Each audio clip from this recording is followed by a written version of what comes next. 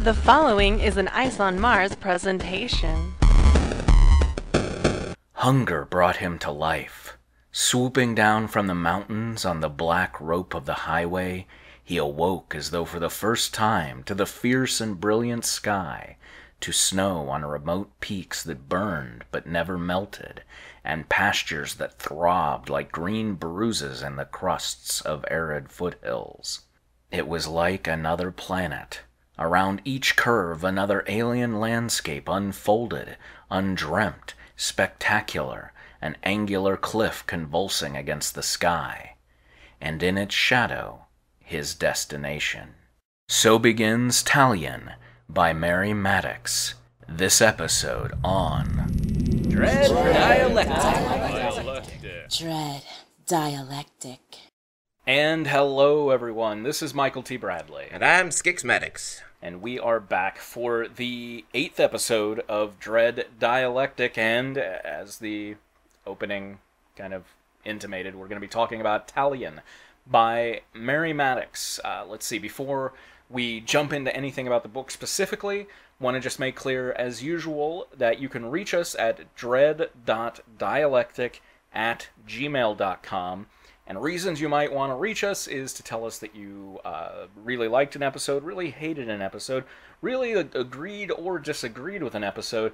Uh, be sure to let us know why. I would love to hear why people agree or disagree, uh, the points they find most salient or hate the most.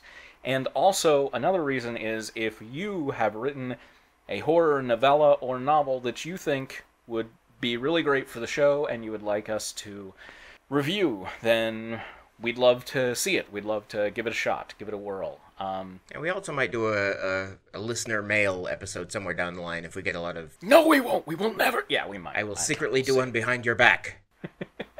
We'll see how that goes. Uh, but for now, let's go ahead and focus on Talion. The the reason that I found out about Talion and suggested it is because probably people know. I'm sure I've mentioned it or I've mentioned it or, or, or linked to it at some places.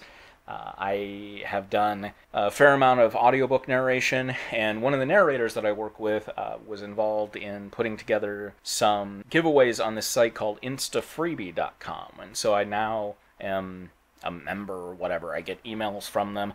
Instafreebie.com, the idea is self published authors will send out uh, stuff. Essentially, you get a free copy of that novel as long as you agree to be put onto the mailing list of the author. And then you can, you know, unsubscribe as quickly as you want or whatever, but you get as many free books as look interesting from it. They did a horror set right around the time that we were starting this, and so I grabbed a bunch, um, and the ones that seemed interesting uh, we're going to be talking about through this. So that's how I found out about it. Instafreebie.com. Uh, we're not being paid for that or anything. Just uh, if, if, if you like reading, might be a place to check out. So let's go ahead and Scix, if you would, do a basic plot outline for Talion here. Okay, Talion by Mary Maddox. She spells her name wrong.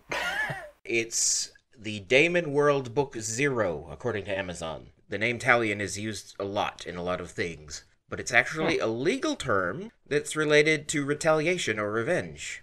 I do not think is an accident in this case.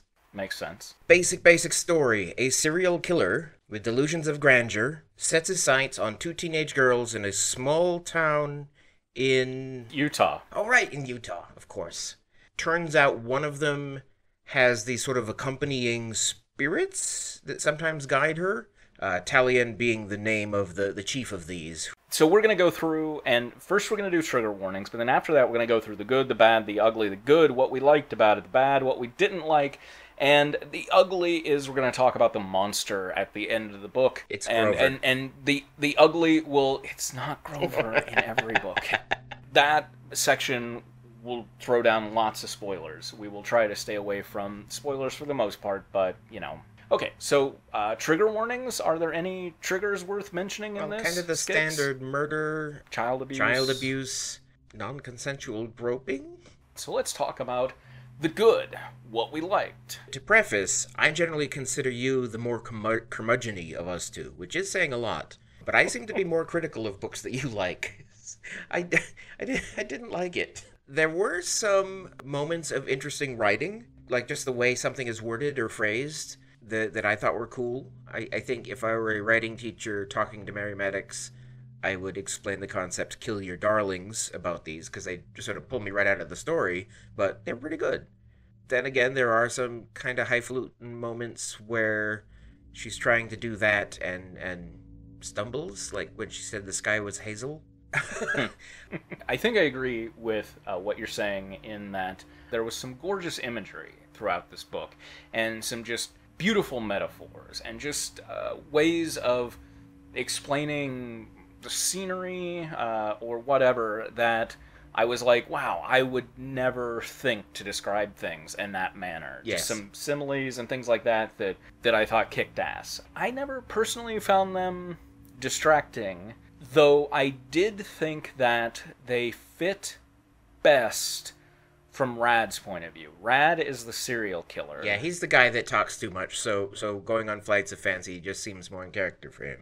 similarly his points of view uh, because the book jumps around to a lot of points of view his points of view oftentimes made me laugh out loud they were i thought hilarious the way that he just looked down on everybody and and hated everybody and was so much better than everybody else i don't know like i have this thing where whenever we get these like really overeducated serial killers in books like this I always laugh because I'm like, you're so right. You're so right. And I really identify with them. Kind of like that he had mommy troubles that made him a little less one dimensional or two he? I don't even remember that. he had he had to call his mother um, a, a couple times, and and he sort of flashbacked to being pushed out of her bed as a child, something that made him angry about humanity, and it was a little ham-fisted, but it was more than just brilliant professor serial killer. It, kind of wrapped a little bit around that.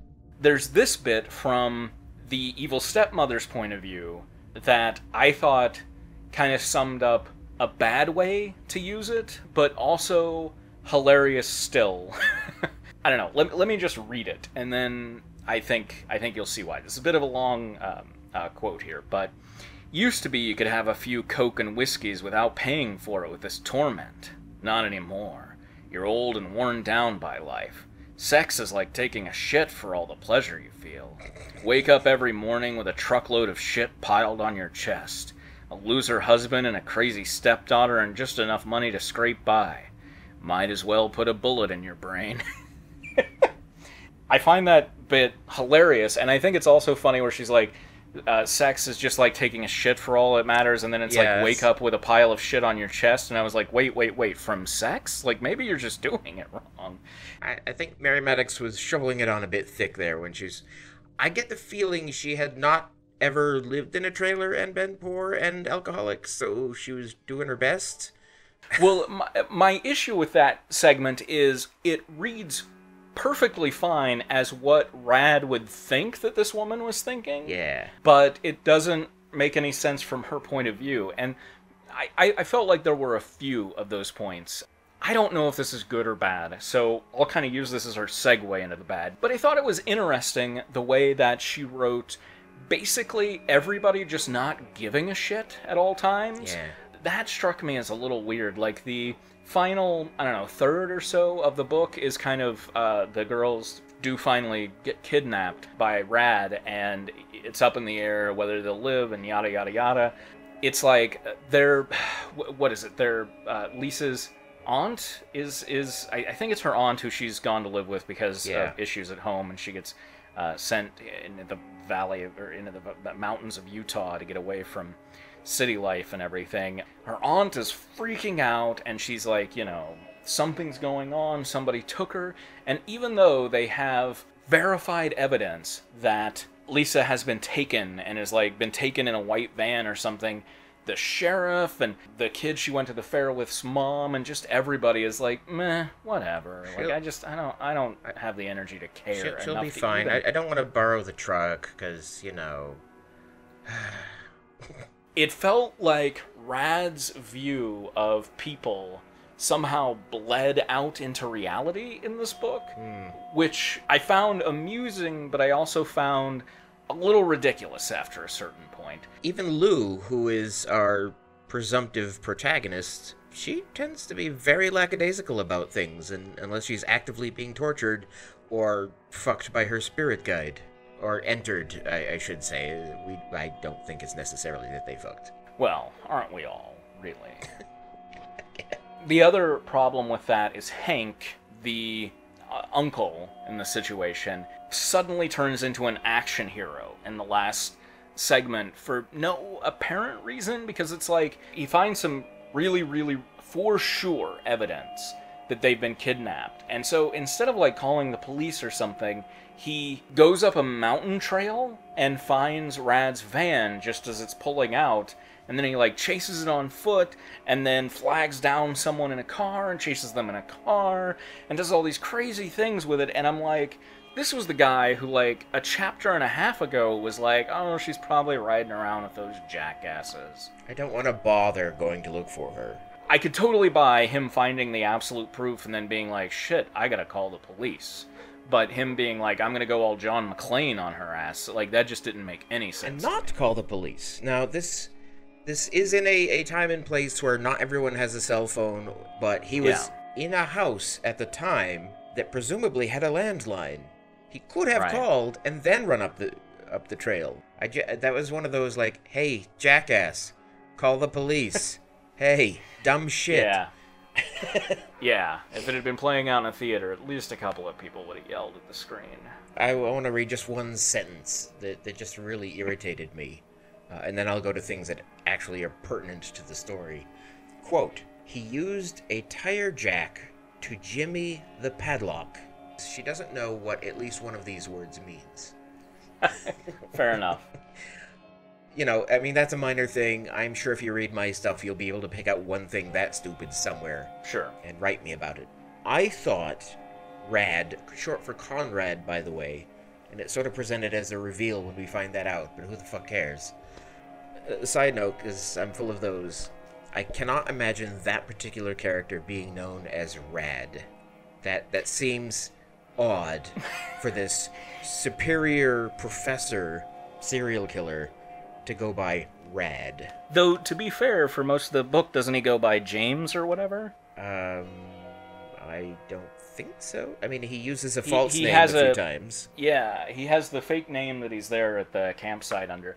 Yeah, the rad thing, I honestly at first thought that he was an evil demon because it sounded like Talion or Black Maria or whatever the other one was. You know, it sounded so silly and fake. Really? like it's short for, like who shortens Conrad that way? I mean, I can sort of see with his with his mommy issues not wanting to go by his given name, but I think he would go further than that because that Yeah. sounds like a surfer. or a ninja turtle. totally tubular. Okay, so Rad Conrad, part of the story is, is kind of flashback.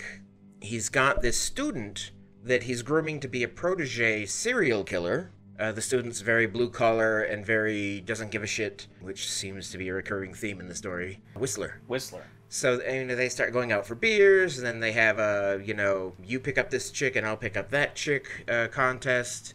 And Rad, of course, kills his instead of getting laid.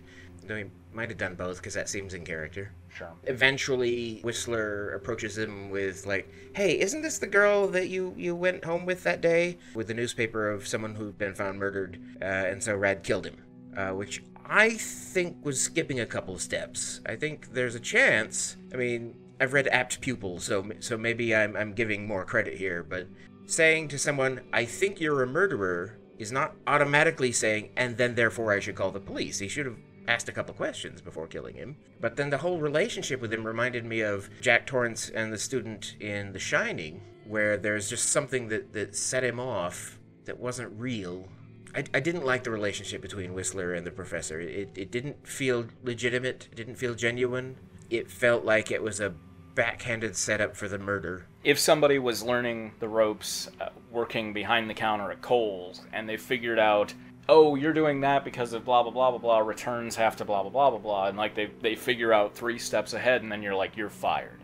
Right. yeah it's it's a little unnecessary and the other thing that i thought was weird was everything that put him in utah he talks about how he would eventually need to change his identity anyway and he had been setting up for that so it's like we we didn't need that you know? We could have had any number of things happen. Whistler could have followed him and screwed up his first murder and been put in jail, and so he's like, well, I need to get out of town because of that. Uh, just having it be that Whistler figured it out, and I mean, it's like, isn't that on you for like choosing someone who isn't really a good serial killer protege? I mean, you wanted him to know about you at some point, presumably. It's a little awkward, and I'll I'll say that that actually does bring up one of my big frustrations with this book is that there are too many flashbacks way too many flashbacks. Yeah. You know, we saw this with The Deep. I've discovered this with Anne Rice trying to reread her, and I'm like, oh my god, how did I ever survive through all these flashbacks? Or like, let me tell you the story of how I was born on this farm. It's like, you know what? I, I, does it pertain to? And I don't care. I don't care. and there were too many of those in this book. I felt like we would just go to a flashback at the drop of a hat. I remember there's one point towards the end where the abduction has taken place and we we get a point of view from uh, the sheriff. And I was like oh for fuck's sake we're gonna get a flashback of this goddamn sheriff and we're gonna see like his first case and how he couldn't stand blood or yada yada yada Right. yada and thankfully I don't think that happens but there were way too many flashbacks. I think that's this crutch that a lot of younger or you know younger relatively writers fall on is that things that could be summed up in a paragraph or two or less they're like no i have to do a flashback to show everything about this. And it's like save those scenes. Save those scenes for other characters and other stories down the road. Yeah, and save it for things that add to the story or add usefully to the character. To me it's like it's how does this person deal with what's happening to them right now that's what i give a shit about okay so let's go ahead and talk about the ugly from here on out spoilers beware I, The first ugly for me, bad slash ugly, is unfortunately the whole premise of the book series. I do not like the daemons. Don't like them. They're they're hallucinations slash spirits. And there's Talion, whose main attribute seems to be that he's pretty.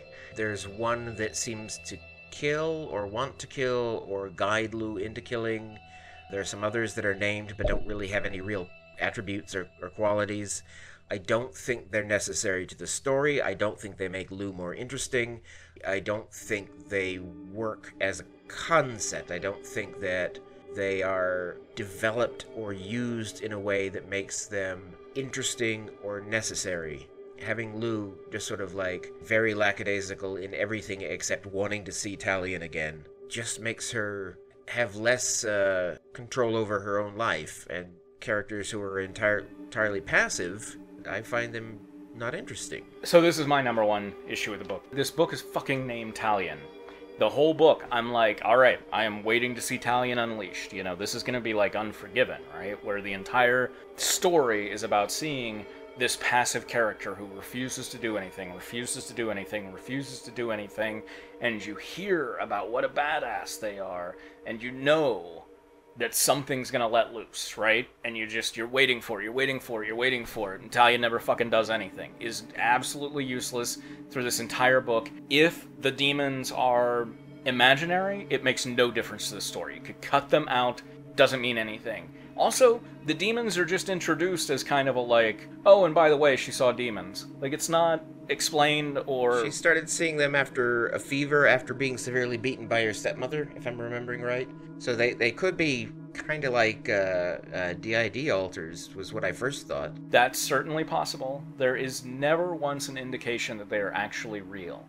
The closest that we come is Black Maria, or whatever that one's name is, possibly trying to kill a woman next to her in a bed at the hospital, but the woman is pretty messed up, so it could have just been that she was dying and Lou imagines her being hurt. I think that scene was intended to verify the reality of the demons, but it's still not entirely uh, definitive. And then there's the whole thing about it's like, oh, if you say that you love me or whatever it was one more time, then you will have given your heart to me. And it's like, well, why wouldn't he want that? What the fuck is Talion's game here? Could we have any sort of idea of what's going on with him? I it just it just it was like, what use are you guys? And again, maybe this is all dealt with further in uh, the next Daemon World book or whatever it is, but it just it really feels like yeah, they have no place in the story. And uh, naming Talion, uh, Talion, it, it relates to retaliation and revenge. You would think he would do some of that. But what he does is he helps Lou. Her stepmother was abducted and killed, and so he gave her guidance on how to cover her departure so that it would seem like she just skipped town. In the long run, that means nothing and does nothing. Right. And I think there was a little guidance later, but but mostly like she was being tortured, she wasn't being helped. The the bad guy got dropped off a cliff, not particularly retribution. Yeah, he's such a dud. I mean, he he's Yeah. he's introduced as like this golden light like angelic thing and he's such a dud.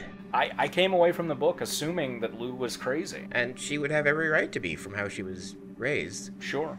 Or I, I guess crazy is a bad word. I don't know, Ill. whatever the term. She's ill. Yeah, yeah, Lou is ill. Um, my other big problem is the pussification of Rad in the last third of the book. Yeah, he was so careful, planned, and tough. He really went down easy.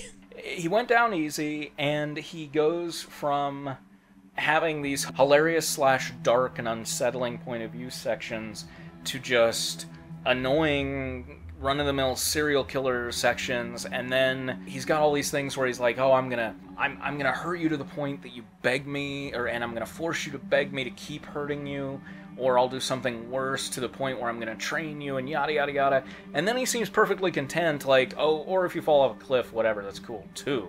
And it felt like uh like with lisa he has like an hour alone with her and kind of like cuts up her face or whatever i think and it just it felt like look this guy seemed to have like these intense machinations that were like gonna call down angels of pain they were so like breakthrough or whatever and instead he just cuts people He'd have, like, erotic paroxysms just imagining doing that. He was he was one of those guys who like on Tinder or whatever talks a big game and is like, "Yeah, baby, I'm gonna love you all night, right? I'm gonna teach you all these new positions and shit that you don't know anything about." And then like you get over, you watch like an episode of Parks and Rec on Netflix, and then like what is it? Two pumps, a tickle, and a squirt, as Stephen King uh, put it, and they're like, "Okay, baby, have a good night." Man's a poet. Like it felt like this book was a lot of build up, no payoff whatsoever. Yeah, I, I think that ties the, the last two things we mentioned, that, that, that it's a failure of payoff. One final note, uh, from me at least. In the end, multiple characters say of Lisa, oh no, she's not going to be pretty again. It's too bad she didn't die. She's not to be as pretty as Britney Spears. She should have died. Too bad she would have been better off dead because she's not pretty. Multiple characters say that, and that is so fucked up, and I don't ever want to read that in any book ever again. So, any writers out there, you cut that right the fuck out. I mean, I feel like Mary Maddox must be the biggest misanthrope ever, right? Like, just like, oh my god, I fucking hate people. Like, how can I show how shallow and spiteful and terrible they are? And this was this was what came out of it. Maybe. Okay, so let's ask the question: Would you recommend this uh, to friends or whatever, Scix? I can't think of any good reason to do so. I think it would be good as a uh, kind of a, a teaching thing, like you were saying earlier. There, there are some good, really examples of how to set a scene, how to turn a phrase, things like that. But I would kind of put the big caveat on there. You know, this isn't, this doesn't lead anywhere, but it's, Right. it's, it's, it's well written. Um, so Yeah. probably at some point I'm gonna try the sequel out because I am curious to see does Talion do something. I am still kind of curious, like what does Talion do? Anything? I would not be surprised if Lou winds up pregnant from Talion. Yeah, and then it becomes kind of a Legion sort of thing. I could I could go with that. And or Virgin Mary, yeah. Legion, the uh, the old movie with the angels, not the X Men, not Charles Xavier's son. I enjoyed it, uh, but I'll, I'll be honest, I didn't expect much out of it since it was a free book, right? So, uh, um, so maybe that's why I enjoyed it more. Um, uh, but I, I, it came with a fair amount of reservations, but still, overall, you know, I, I say I, I really enjoyed the writing for the most part. It's a basic serial killer story. For all my kvetching, none of it was uh, fatal to the story. It could definitely be be enjoyable. I, it's just not something I would recommend. If you agree, disagree, or have things that you want us to read, shoot us an email dread.dialectic at gmail.com. Uh, coming up next, a bit of a format change next episode, so be ready for that, everybody, and get excited about it. Ooh, tell you more when we get there. Uh, for now, this is Michael T. Bradley, And this is Skixmatics. and we are